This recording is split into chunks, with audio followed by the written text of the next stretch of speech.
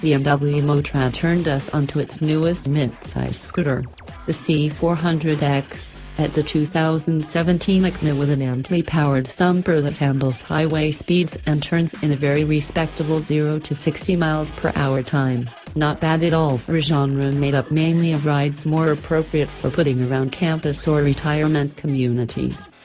Scooters can be sources of good, economical transportation, and quite a bit of fun to boot.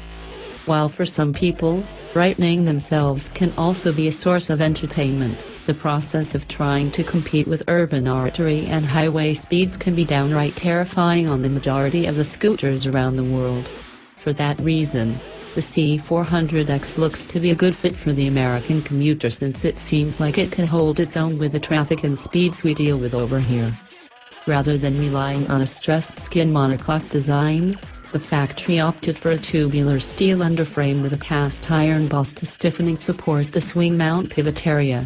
The pivot bearing itself comes designed so as to limit the engine vibration passed along to the frame, and by association, the pilot and passenger. Power comes from the 350cc, water-cooled thumper with its horizontal 80mm bore.